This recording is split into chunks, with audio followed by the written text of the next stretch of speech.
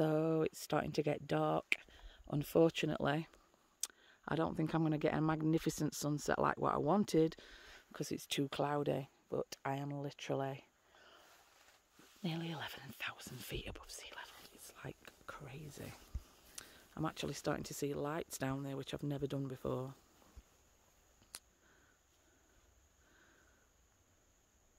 and it's so peaceful it's crazy but that's a long way down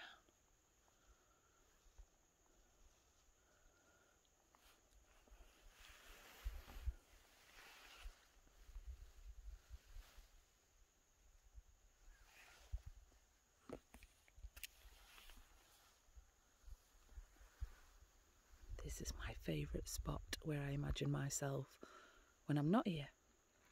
Just want to be sat here on my rock.